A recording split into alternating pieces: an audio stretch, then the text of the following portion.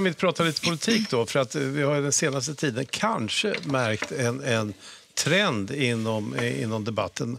Man, man lämnar invandringspolitiken, migrationsfrågorna och går till något annat. Har ni noterat den trenden? Mm, absolut. Mm. Är, är den rimlig? Nej, men tyvärr så. Alltså, frågan om migration och integration är ju viktiga frågor.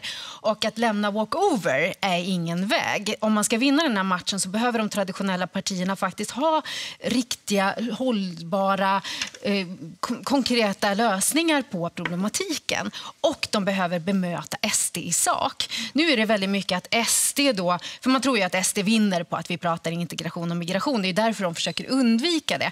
Men SD vinner bara så länge man inte bemöter dem och säger vad har ni för lösningar. då? Mm. Att man bemöter dem i sak, inte utifrån vad de har för historia eller vad de har för skandaler. För rötter och nötter finns i alla partier. Utan man måste prata om varför blir SD sämre på att lösa integrationsproblematiken om de får mer makt 2018 till 2022?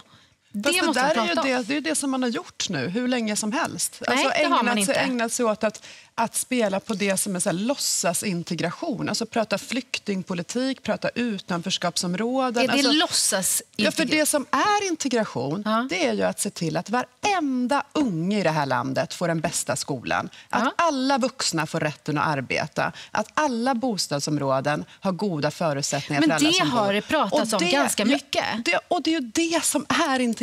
Och det är det som debatten nu börjar vridas till. Att säga att ja. men det, är inte, det här har inte med asyl och migrationspolitik att göra. Det här har med att göra med att alla människor som finns i vårt land, oavsett om du har rötter Fast någon annanstans... Det är ju självklart så, Veronica, att, att det har ju blivit klyftor på grund av att det kommer människor hit. Mm. Stora grupper som inte har utbildning, som inte kommer in på arbetsmarknaden och, och som sen göms bort. utbildning och arbetsmarknad man ska prata. Det är ju inte så att vi inte ja. hade klyftor i det här samhället Men tycker innan. du inte att man gör det? Alltså, Nej, det pratas tycker, ju jättemycket om det.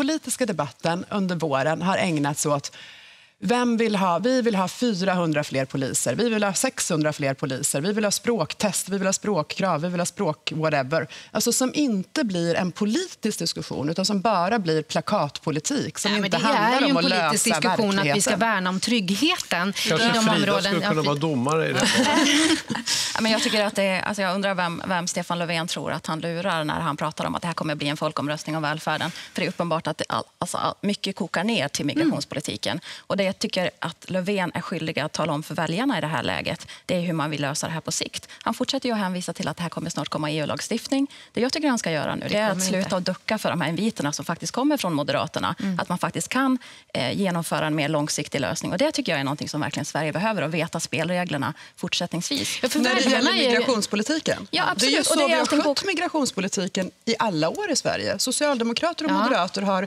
haft, har hittat gemensamma lösningar och så har det stått liksom, liberaler och miljöpartister och så på, vid sidan av och varit arga. Så vad är hans det problem har att, ganska att bra. ta den utsträckta handen nu då? Därför att det är innan val och då törs man inte Nej. det. Utan då man måste separera sig från allianspartierna i det här läget och det, då går man hellre på Miljöpartiets linje. Dessutom är S otroligt splittrade, liksom alla andra partier. För nu Centern driver sin linje, Liberalerna kritiserar Moderaterna, Moderaterna vill gå med S och inte med Alliansen.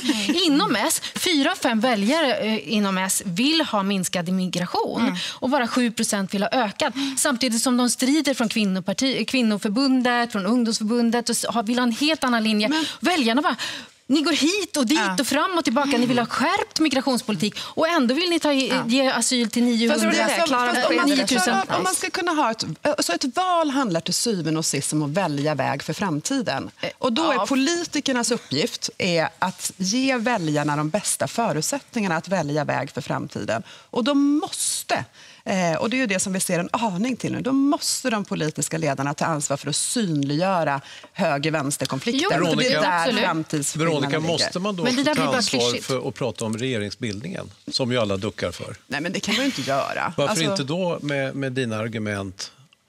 Alltså, först ska väljarna säga sitt, ja. eh, sen bildar man regering. I Sverige har vi nästan alltid haft minoritetsregeringar som har samarbetat, all, ofta, åtminstone när de har varit socialdemokratiska, mm. över blockgränserna. För det är så man löser praktiskt, mm. praktiska problem. Det kommer bara mm. förstärka extremerna om man gör så. Jag tror absolut att det kommer att bli en eh, enpartiregering med Moderaterna mm. och sen kommer söka stöd från de övriga. Men det är en fråga vi får ta efter valet. Men att vi ska prata om migrations och integrationspolitik är viktigt. Mm. För annars vinner SD på att vi inte absolut. pratar om det. Men, för de kan e bara stå så här ansvar. Det är, det Vilka frågor kommer toppa agendan här nu fram till andra söndagen i september? Migration och integration ja, och definitivt. sjukvård. Lagordning. Ja, lagordning. Ja jag tror också att det faktiskt kommer vara en del väl, för det beror ju på hur, hur Men det duktiga det socialdemokratiska partiet är på att faktiskt också presentera reformer. Det räcker inte med ja, att säga jag Då får man inte ta bort att man kan visstidsanställa människor. Man kan inte lyda LO i ja. alla lägen. Eller skapa en trygg, för trygg arbetsmarknad för dem som... Sträcker debatten. Ursäkta, ja. men vi måste växla några ord om eh,